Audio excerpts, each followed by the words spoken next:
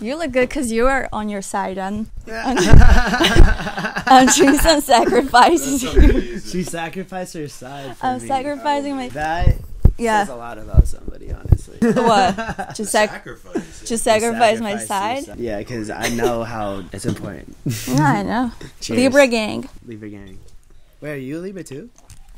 Aquarius, but Oh, but my rising is Libra. oh, your rising is. yeah.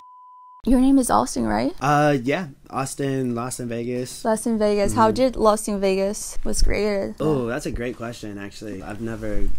Yeah. Okay. One thing that I'm curious. You're from Vegas. Yeah, born and raised. That has a lot to do with my name, obviously. Like the actual moment I decided to call myself Lost in Vegas was actually a really cool moment because I didn't initially want to call myself anything else than Austin. Fast forward to when I moved to Cali, met Mod, been on a couple tours with him, and I was Austin Kane Music. And that's how I promoted myself. That's how I saw myself. And that was pretty much like my brand, right? Right. We were getting ready for I forget which tour it was. It might might have been the movie tour. Right. And it was me, Forget Brennan, who's Mod's guitarist, and we were chilling in his in Mod's room. For some reason, Mod just like brought up like, dude, I think you need to like rebrand. And I was like, dude, I spent like years, years as Austin K Music. Like people Right. know me as Austin K Music, even though I didn't really have a lot of A people who knew me. You know what I'm saying? But Mhm. I don't know, man. Like I was super hesitant. He's like, okay, well, if we don't come up with a dope name tonight, then you could keep your name. But if we do, you got to change your name. He like threw out the idea. Let's like incorporate like where you're from. I also like kind of threw out the idea. Like I love the Weeknd party next door and just kind of like the imagery Mm, behind it. okay. When you hear that, you're just automatically intrigued. It just automatically takes you to a place like PartyNextDoor or whatever. For some reason, I don't know why, but when I used to work at the warehouse, there was this kid in the warehouse who would call me Lostin. Mm, Lostin. Because like I don't know if this is a Libra thing, but I'm always in my head. uh, no, it is definitely. I am always in my head, and like people think Libras are an airhead. I don't know if it just specifically. is. I always look like I'm daydreaming. For some reason, it just got brought up. I don't know if it was Brennan or Mod or who it was. We just combined them. and It was like Lost in Vegas. For me, I'm all about symmetry, so I was like, it just gotta Mm. look. It has to look dope too. So I was pretty hype about the name, but I wasn't sold on it until Mm. after tour, and then I started like it just started rolling off the tongue, and it just kind of I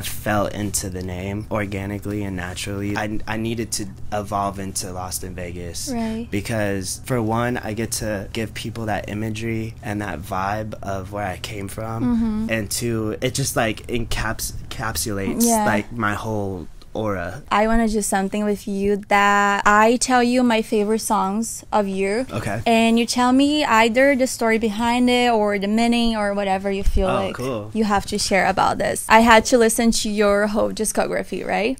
Sick. The first song ever that you have, it's Hollywood Signs, at least on Spotify. That's Oh, your first yeah. song. I feel like it's pretty vulnerable, but also one thing that got my attention is that it's with Mod Sun. What happened? So I love that you brought that song up because I wrote that song after I got back from the Alpha Mega tour. I'm sorry, what's the Alpha Mega? Tour? So the Alpha Mega tour was with Machine Gun Kelly and Mod Sun. When Mod Sun opened up for Kels, I was pretty much there just as like a, a helper. Like I Right. was just assisting, doing whatever I needed to do to like help keep the wheel squeaky. It was a super inspiring experience because I got to see Kels pretty much like performing. I got to see Mod performing every single night. I got to see them in their element. I got to see them before the show, after the show, during the show, how they acted. I went back to Vegas. I think it was like during Thanksgiving. I was still working at the warehouse. The warehouse was here in LA. hmm The Right. warehouse was here in LA. So it was right when you moved moved from Vegas. hmm When I moved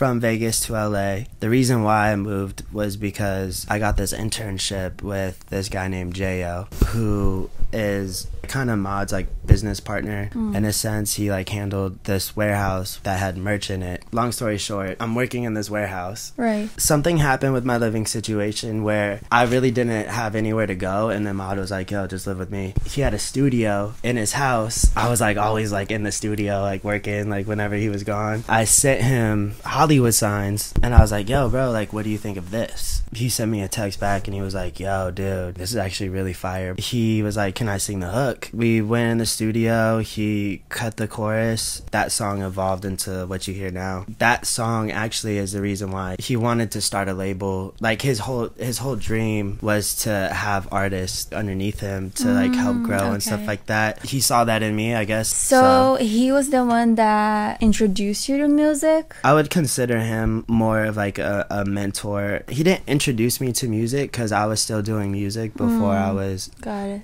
living in LA. And then I met him. He pretty much just kind of showed me the other side of music grimy, dark side to the amazing, beautiful side. A lot of what he taught me, I use like every day. He's definitely was like a pretty pivotal character in evolving Las Vegas. The reason why like I'm where I'm at and like how I move and stuff like that. So definitely friend, mentor, like all of that. So I saw this in an interview that you dropped out of college. mm, What you yeah. were stu- that's just like a personal curiosity. oh yeah, yeah. I actually double majored in college, so You did? Um, a lot of people don't know this. I lived in St. Louis for two and a half years. The reason why I moved to St. Louis is because I got a Division One scholarship to play at this school called Southern Illinois University. I had no idea what the fuck I was getting myself into.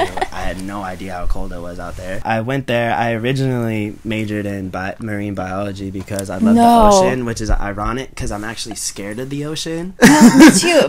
like I don't know what I was thinking, but I was so fascinated No, by on. dolphins. Like my bathroom was just filled with dolphins. I how I got myself into this. I was, not expecting I don't know what my this. logic was. No, that, my like, no. In my know, it's just what head, it was like you were either studying music or business, one or the other. But Uh, I would never no. tell you you were No, studying. I, I started marine biology, bro. I took like damn near five biology classes, and I was like, no. But with that being said, I switched over to psychology. Oh, okay. And double majored in psychology and art, Oh, okay. Now it makes more sense. and then I dropped out. For whatever reason, I think it has a good vibe, but I like the song honestly. There's a line, I don't know if it's right, but it's like, she ain't good for me, but I ain't good for her either. Oh yeah, And I- I don't know, I liked that. me. I ain't good for her either. Oh man, I haven't. That's a good song. It's an, yeah. that project that these songs were on was the first project that I was technically I released underneath like Mod. I had this song written right, Mm-hmm. and I had this hook, and then I showed Mod because I think he was dating Bella Thorne at the time, so he was always like in and out. So I was like in the Oh, studio. okay, I was so in the then- studio in his house, and I was just like, I'm just gonna work. I literally locked myself in the studio. I actually slept in the studio, and I had a mattress in the studio. So you lived in the studio for a while? I lived in the studio at Mod's house. Damn, on it just gets mattress more On the interesting. floor.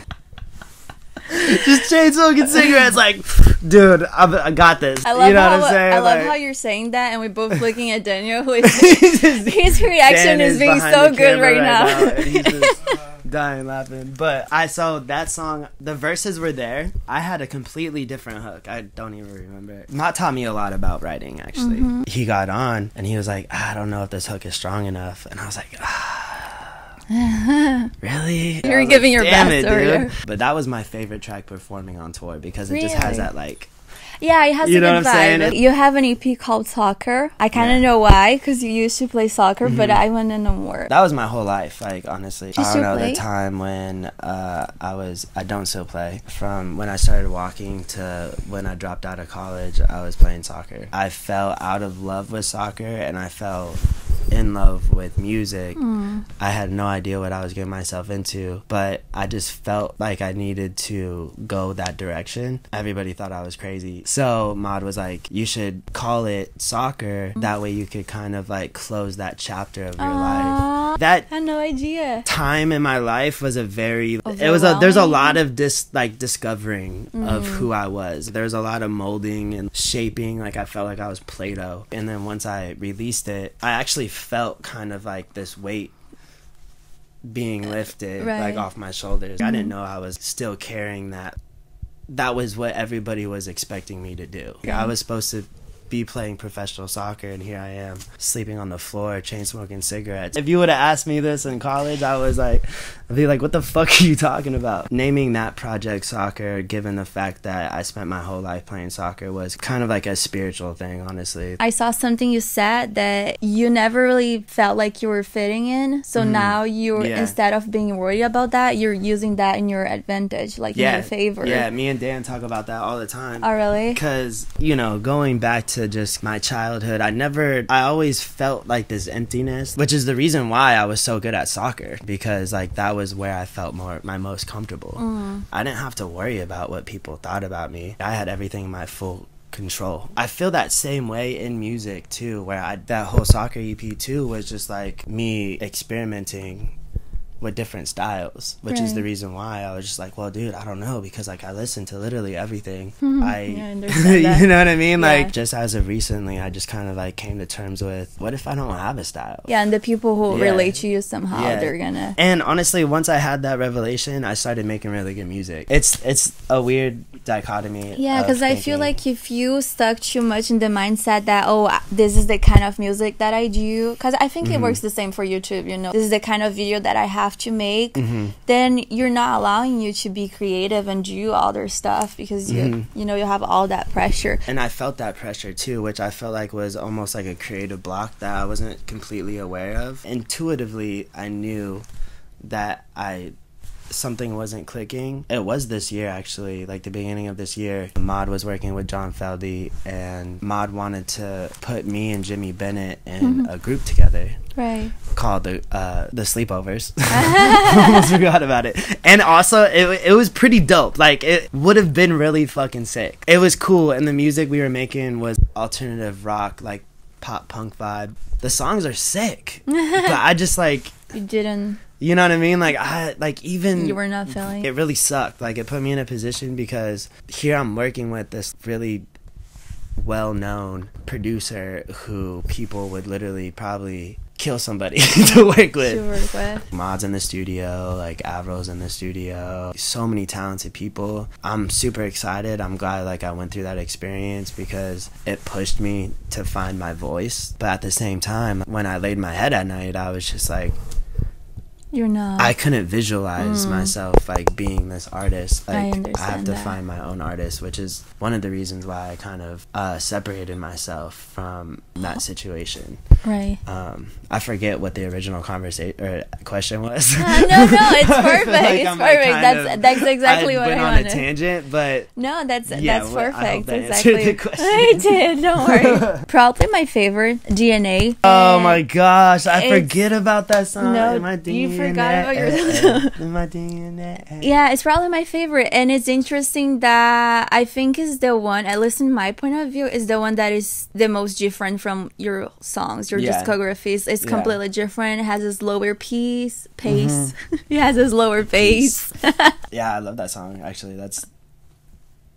I see. That was during that time too. Like I said earlier, I was trying to figure it out. I was trying to f- see what my style fit. That mm-hmm. when I wrote that song, that was originally on just like a guitar, and I was like, I'm just gonna go into kind of more of like an alternative side and just right. see if that sticks at all. But that song is a vibe. Like I It's a vibe. It's my favorite. I wrote a, a hip hoppy like type of verse, but then Mm-hmm. I took the metaphors that hip hop artists would use, but I just put it into more of Jack Johnson singy like vibe into it. Mm-hmm. Yeah, so I I, just kind vibe. of was just.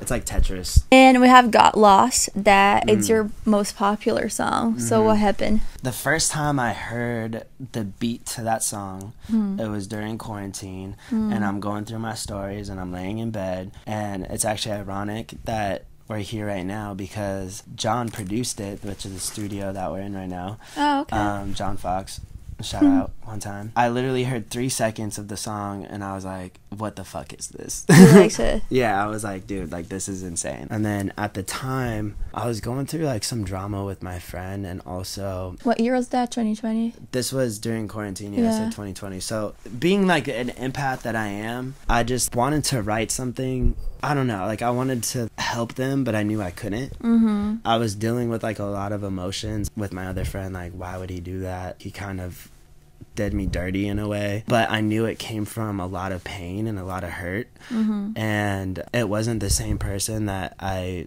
Like. I knew. Damn, that was fucked up. Like we were brothers, like type of shit. I hated him at the time, Mm-hmm. but I, I I felt wrong hating him because Yeah, I knew he was like in a a bad place. You could be there to help facilitate people getting better, but sometimes you can't actually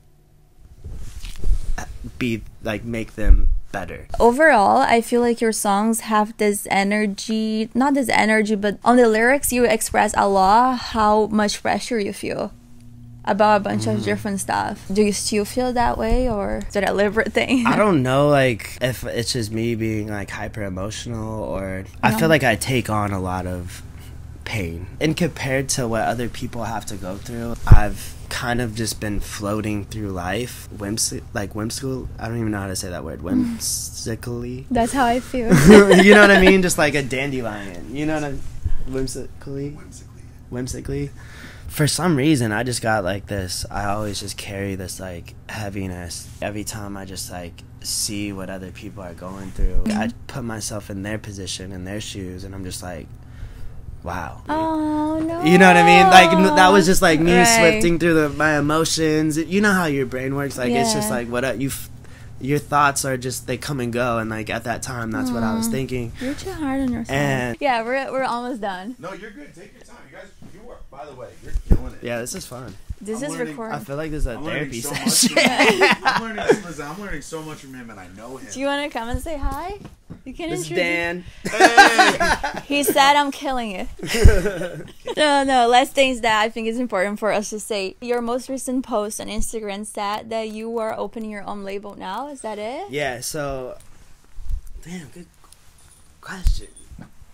I've been independent for a while. Mhm. Um, obviously, you know, I was with Mod, Yeah. and verbally, kind of like his artist, like I f- he was kind of. I felt like he was curating me to be who I am now. I started seeing a lot of sides of the music industry and mm. I have a lot of friends in the music industry that are on both sides of the spectrum, independent and also signed. And I see a lot of artists who are signed like wanting to get out of their deal and a lot of artists who are independent who are struggling just to even pay their rent. So mm-hmm. I started studying a lot about the business side of things like on music Mm-hmm. and I started researching and I started figuring out I could actually do this and create this world. I don't have to rely on anybody. And I feel like we're at a time in music right now where we don't have to sign. Mm-hmm. Like Yeah. we could be completely independent and be very successful. Obviously, I'm still learning this whole side of things, but my whole life I never was good with people giving me direction. Oh, you know what I get mean? that, and yeah. never I was like I'm just going to figure out this business shit and I'm just going to do it. Did you start already or? Well, it's been a process. It's honestly been like a whole year's process, but Mhm. I feel like I'm finally at a point where I understand Yeah, because you have a lot how of to experience. it, how to do it, like how to leverage things. Pretty much taking the same concept as a label, but just curating it into my own way. There's still a long way to go. Yeah, Um, but you just started. the industry is leaning more towards independent artists and allowing artists to be artists and be Mhm. creative and not keeping them in a closet. You're playing your first headline show two weeks. Y- Two weeks is this month. 19. 19, yeah. hmm How you December feeling? December nineteenth. Yeah. Um, I feel this is my first headline show, so I feel ready. Normally, I would probably be nervous. I'm probably going to be nervous because it's my 1st you Mhm. know. But I'm more just really excited because I feel like I'm. I've been putting in enough work. I used to suck at performing. I used to suck. The first tour that I went on with Mod, I had two songs. okay, but it was your first. It was my first. We had to cut the second song because Mod was like, "Yo, bro, I don't, I don't know, man." and I was like, "Dude, I don't know either. I don't know. I don't know what I'm doing, dude. I don't know what to do. Like, I have no idea. Like, what, what do I do with my hands? Like, what do I look at? Like, how do I act? Do you have videos of that? I probably somewhere. I hope so.